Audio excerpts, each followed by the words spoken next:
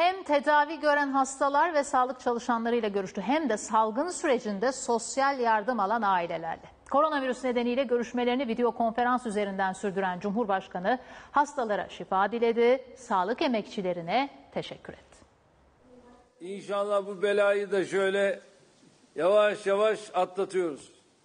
Amin. Koronavirüs tedavisi gören hastaları aradı, sağlık durumlarını öğrenip şifa diledi. Nasıl memnun musunuz? Her şey çok güzel. Rabbim inşallah buralardan bir an önce çıkıp bayramı bayram gibi kutlamayı da bizlere nasip etsin. Amin. Amin. 1 Mayıs'ta mesaisini Uber Köşkü'nde sürdürdü Cumhurbaşkanı Erdoğan. Sadece hastalar değil, Cerrahpaşa Hastanesi'nin doktorları da ekranın karşısındaydı.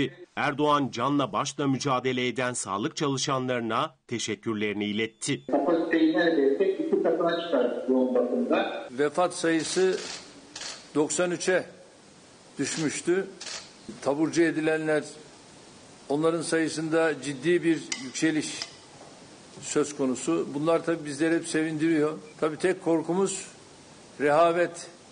Eğer olursa bu bizi tabii ciddi manada sıkıntıya sokabilir.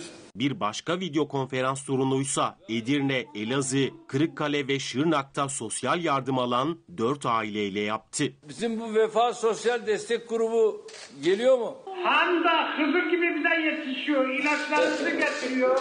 Elhamdülillah. Maaşlarımızı çekip evde dağıtıyorlar bize. Maşallah. Maske getiriyorlar, kolonya getiriyor. Erdoğan ailelerden kısıtlamalara alışıp alışmadıkları konusunda da bilgi aldı. Sen yasağa koydun, biz de uyduk.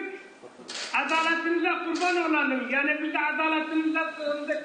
Biz de size kurban olalım inşallah. Allah razı olsun. Biz de size kurban olalım.